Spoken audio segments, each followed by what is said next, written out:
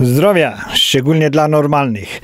Komunistyczna partia Chin powiedziała obywatelom komunistycznych Chin, że mogą mieć y, tyle dzieci, ile chcą. Komu y, obywatele komunistycznych Chin odpowiedzieli, że nie, bo już nie potrafią mieć więcej dzieci. Subskrybujesz? Dziękuję bardzo. Polecasz? Dziękuję jeszcze bardziej. No, jest to, jest to y, no, nie tyle ironia losu, co mm, przykład tego, jak, jak y, wpływ rządów na manipulację yy, społeczeństwem, populacją, y, narodem, swoimi obywatelami, y, no ma bardzo przykre efekty. Po prostu natura, natura już y, została wyeliminowana z tego. No i teraz zamiast, zamiast prawa boskiego, no to było prawo ludzkie, no i prawo ludzkie wprowadziło coś takiego, że zakaz dzieci no to, to zrobiła się wielka makabra. Wielka makabra jest przede wszystkim w tym, że tam strasznie dużo nie, nie tyle było skrobanek, co morderstw. Bo dzieci, dziewczynki kiedy się rodziły na wsi, na wsi to szczególnie widać, bo na wsi 80% dzieci na wsiach, y, no to są chłopcy. Tam jest taki straszny niedobór dziewczynek. Z czego to jest spowodowane? No, y, jest, jest to y, społeczeństwo mm, chińskie, no to wbrew temu, co, co ludzie mówią, czy widzą te, te wszystkie bogactwa, te Rolls Royce'y, te, te Bentley'e i tak dalej, no to jednak większość żyje mm, na wsi i ziemia jest naj, największym bogactwem, naj, największym bogactwem czy możliwością rodzin. Y, no i tam nie ma emerytur. Tam w sumie nie ma emerytur. Jedyna emerytura to jest to, że, że dzieci po prostu będą y, żywiły swoich rodziców, kiedy, kiedy rodzice już nie będą w wieku y, produkcyjnym. No i cały ten przekaz, przekaz tych, tych rodzinnych dóbr, czy ziemi, czy praw do dzierżawy i tak dalej, i tak dalej, no to spoczywa na mężczyznach, czyli kiedy dziewczynki się rodziły i można było mieć tylko jedno dziecko, no to bardzo często dziewczynki były mordowane, zabijane i zakopywane, zakopywane w, gdzieś tam w polach i one, i one po prostu znajdowały swój, swój grób z rąk, z rąk rodziców. W Ameryce w latach 80., 90. były dziesiątki, setki tysięcy y, importowanych dzieci. One były w zasadzie kupowane z Chin, y, no bo adopcja jest darmowa, no ale, ale wszystkie te, te opłaty adopcyjne, te, te y, badania, niebadania, sprawdzania i tak dalej, no to to była, to była ta łapówka, to były te pieniądze, które rodziny amerykańskie musiały płacić, no ale, ale 99% tych, tych dzieci z importowanych do Ameryki no to były dziewczynki. To nikt o tym nie mówi, ale to jest właśnie ta makabra. No i teraz Chińczycy, komunistyczna partia Chin powiedziała, że mogą mieć dzieci ile chcą, no, a, ale Chińczycy już w zasadzie y, nie potrafią, y, mm, y, obywatelem. Komuniści, komuniści mm, popatrzyli się na cały ten wzrost, wzrost ekonomiczny, no i zorientowali, że, że coś jest nie tak. Także dyskutują możliwość, możliwość wyeliminowania jakichkolwiek y, restrykcji y, rodzenia y, od 2025 roku. No ktoś może się zastanowić akurat dlaczego 2025 roku.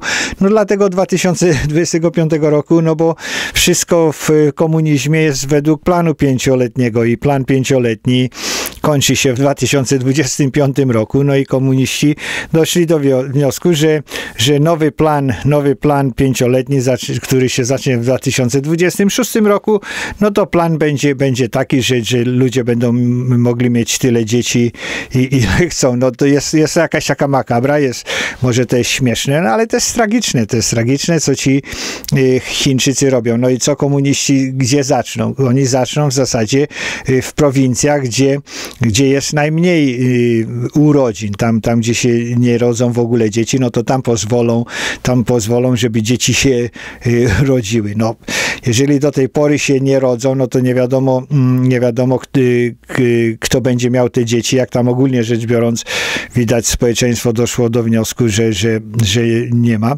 W zeszłym miesiącu Yy, yy, pozwolili, że, bo to 2025 będzie można mieć ile chcą dzieci, a teraz jeszcze na razie w zeszłym miesiącu powiedzieli, że może być yy, trójka dzieci.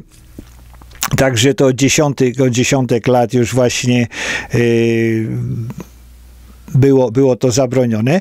Y, badania, badania tych, tych, tych wszystkich statystyki mm, y, populacji y, pokazało, że, że, że to wszystko spada.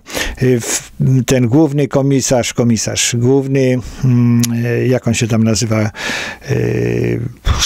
partii komunistycznej, sekretarz, główny sekretarz partii komunistycznej Xi Jinping, no w Ameryce, w Ameryce to tak oszukańczo o nim piszą, albo piszą o nim prezydent, to nie jest prezydentem, bo w Chinach nie ma prezydenta. No tak bardziej oględni, no to piszą chiński przywódca. No ale nigdy nie piszą, nie piszą, że to jest pierwszy sekretarz y, partii komunistycznej. Także to widać, że te y, komunistyczny y, News Network, czyli CNN i te wszystkie inne gadzinówki, to tak właśnie oszukują. Tak właśnie oszukują obywateli. Ludzie, ludzie nie biorą pod uwagę właśnie tego, takich małych, małych niuansów. No i Xi Jinping pierwszy sekretarz partii komunistycznej, to powiedział, że, że mm, starzenie się społeczeństwa, no to, to zaczyna, być, zaczyna być problem y, bezpieczeństwa y, chińskiego. Y, no i powiedział, że, że wszyscy, wszyscy sekretarze wszystkich prowincji, wszystkich mm, miast i tak dalej muszą, muszą się za to wziąć. No tak jak było to, były te sprawozdania i raporty w, trybun, w Trybunie Ludu oraz w gazecie Prawda. No oni też mają właśnie tą trybunę ludu i, i gazety Prawda, no i to, to wszystko jest właśnie w ten sposób pompowane. Y, y, te, te, te, te zmniejszanie tych restrykcji, no to będzie, będzie w tych y, miejscach, gdzie jest ekonomicznie no, nędznie, jest ekonomicznie nędznie, szczególnie, szczególnie w, oni mają ten tak zwany Śląsk, czyli, czyli to jest taki pas rdzy, mają tam huty, bo mieli ropę, węgiel, także że jest taki nazywany pa, pas y, mm, rdzy. Y, to są tą północno, północno-wschodnie wschodnie rejony. Y, no, tam to się zaczęła ta, ta mm, rewolucja, można powiedzieć, przemysłowa, czy, czy w latach 1950., kiedy, kiedy Chińczycy po prostu starali się robić, najpierw to się starali robić, żeby była huta w każdej, w każdej wsi. No to był kretyński pomysł, no bo w tych hutach w każdej wsi, no to każda wieś była zobowiązana, żeby, żeby wysłać tam 50 czy 100 kilogramów żelaza czy, czy, czy, czy stali. No żelaza w zasadzie y, do większego miasta, z większego miasta jeszcze do większego miasta i trafiało to do huty.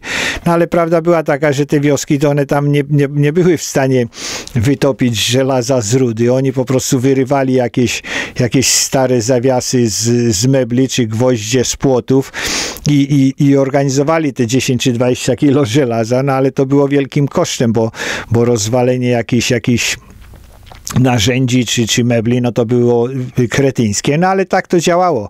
Przykaz był, no to musieli to zrobić. Yy, no i ten cały ten Śląsk, cały ten, y, ten region przemysłowy, no to to wszystko upadło, kiedy, kiedy zaczęły, gospodarka się zaczęła przesuwać y, w kierunku y, rynku. No nie, nie wolnego rynku, w, Chin, w Chinach nie ma wolnego rynku, ale bardziej z przemysłu takiego ciężkiego do, do, do rynku w latach 1910. No i teraz, teraz właśnie w tamtych rejonach jest najmniej y, urodzin.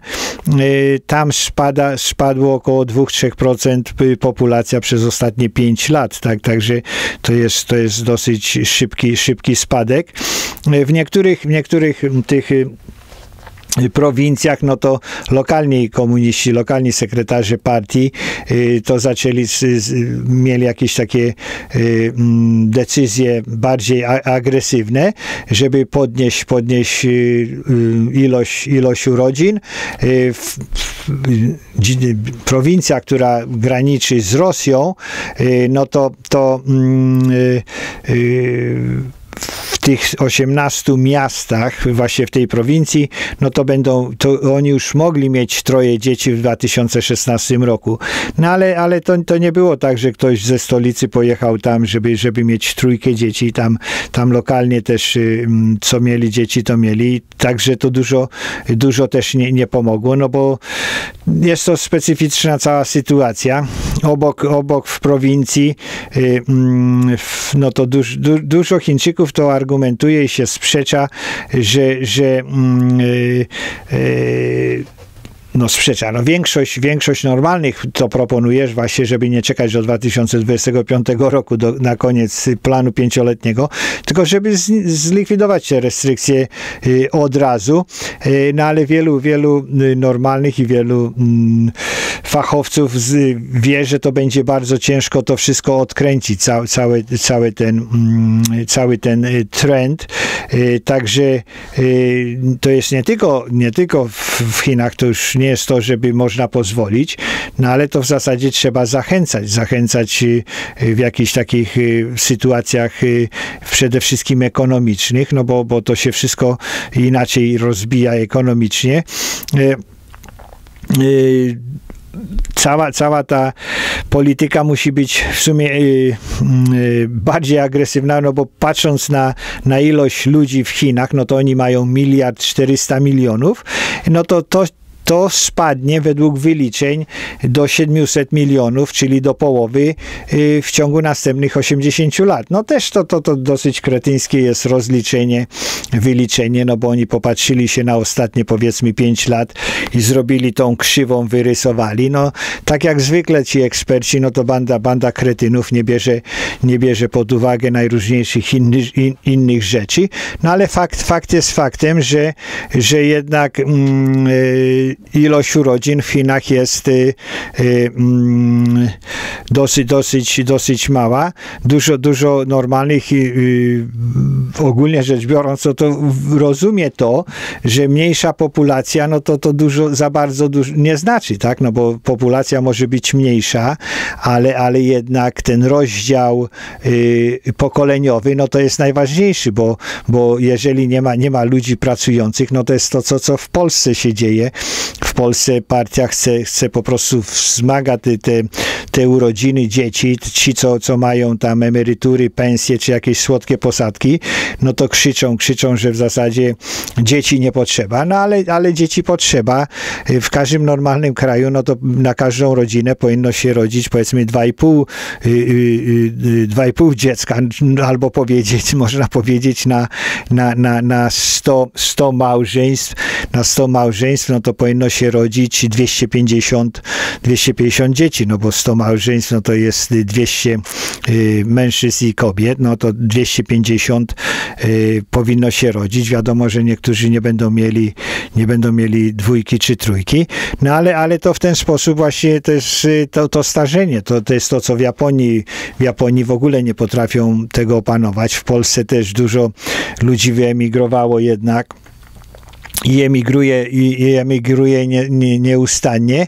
Y, Beijing, Beijing nie za bardzo chce y, odpuścić sobie tą, tą kontrolę y, urodzin w całym, w całym kraju, dlatego, dlatego że taka mm, zrelaksowanie tych, tych restrykcji w całym, w całym kraju, no to, to spowoduje to, że, że w niektórych rejonach, tam gdzie jest mm, biedniej, szczególnie gdzie, gdzie jest ziemia, no i potrzebują, potrzebują ludzi, ludzi do pracy, no to będzie jeszcze więcej ludzi, no i to będzie problem. No i to, to jest to, co Chińczycy zaczynali. Chińczycy zaczynali, że mówili, że jest za dużo ludzi, to zrobili mniej ludzi. Y, no i teraz, teraz niby mniejszej biedy nie ma, no ale ekonomia pada, rodziny, rodziny też rodzin też, też nie ma. E, ca, cała ta polityka mm, restrykcyjna urodzin, no to zaczęła się tam już od 1980 roku, tak właśnie jak wspominałem, te, te dzieci adoptowane, no to były po, w latach 80. E, no to, to im, im mm, oni popatrzyli, że ten wzrost e, ekonomiczno-gospodarczy, no to nadmierna ilość dzieci, czy tam ludzi, to, to było to powiedzmy taka mm, kula u, nogi. Y, dużo, dużo rodzin płaciło, płaciło najróżniejsze y, kary za to, że, że mieli dzieci.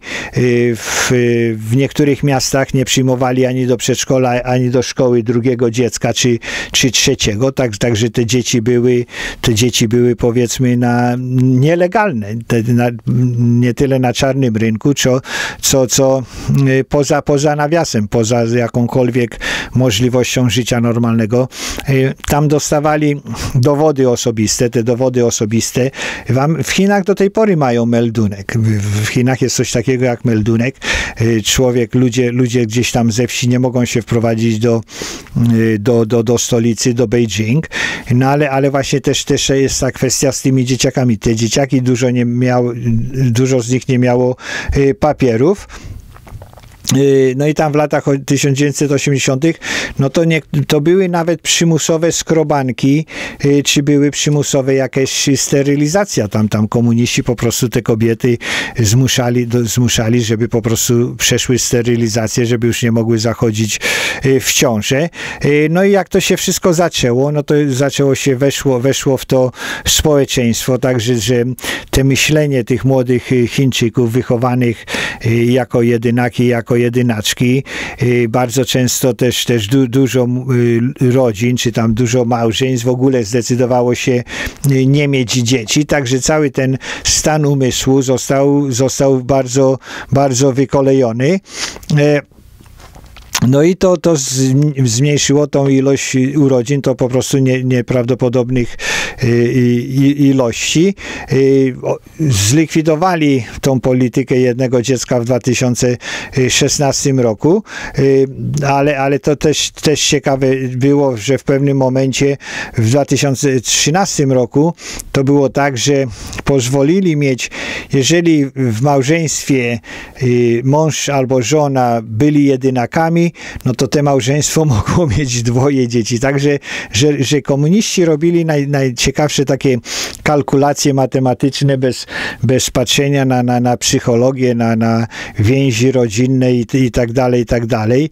Mm, y, wszyscy normalni to, to w zasadzie mówią, żeby Beijing zlikwidował to i to już nie, nie, y, nie dzisiaj czy nie jutro, no bo po jaką cholerę czekać następne 3, y, 3 czy 4 lata tylko dla dlatego żeby, żeby mm, y, ten plan pięcioletni można, można komunistycznie było y, y, zrealizować. No normalni ludzie rozumieją, rozumieją, że rządy po prostu nie powinny ingerować w kontrolę życia ludzkiego. No i to, to, jest, to, jest, to jest to, co, do czego to się sprowadza. Komuniści po prostu kontrolują wszystko i tak kontrolowali, że, że zniszczyli, zniszczyli. Na razie może tego nie widać. No i to, to jest to, co nadchodzi z komunistami w Ameryce. W Ameryce też komuniści chcą, y, chcą yy, yy, kontrolować. Na prawo, prawo do, do rozmnażania się, prawo do, do posiadania dzieci, prawo do, do, do rodzenia, no też już nie może być bardziej podstawowe, podstawowe prawo y, ludzkie, no ale komuniści nie wierzą w prawo y, y, ludzkie, nie wierzą w prawo boskie i dlatego tak się kończy, jak się kończy. Zdrowia dla normalnych, subskrybujesz? Dziękuję bardzo. Polecasz? Dziękuję jeszcze bardziej. Nie subskrybujesz? Tu jest szałeczka do subskrypcji, dzwoneczek z o codziennych powiadomieniach i do następnego, codziennego, już monetyzowanego filmiku. Y, klikaj na, na reklamy, pisz swoje obserwacje, zawsze postaram się odpowiedzieć. Zdrowie dla normalnych, przekaz dla konserwatystów. Dziękuję bardzo za za to, że wierzycie Bóg, honor, ojczyzna, czyli rodzina, uczciwość i tradycja. Y, bądźcie normalni, bądźcie konserwatywni, nie, nie dajcie się złapać na, na lep y, komunistów. Przekaz dla socjalistów polskich, którzy głosowali w Ameryce na, na Bidena i resztę, resztę tych socjalistów. Widzicie, co się dzieje. Widzicie przykład, przykład Chin, co to jest, kiedy rząd się wpiernicza do, do, do, do rodziny, kiedy rząd się wpiernicza do, do religii i tak dalej, i tak dalej dalej, to nie, nie, nie powoduje dobrych rzeczy. Popatrzcie się na podatki, które będziecie niedługo płacili, popatrzcie się na, na cenę benzyny. Wszystko poszło w złym kierunku. Inflacja, to było do przewidzenia. Każdy normalny wiedział, co to się stanie, kiedy Biden i jego banda zostanie wybrana yy, do rządzenia. Zdrowia dla normalnych.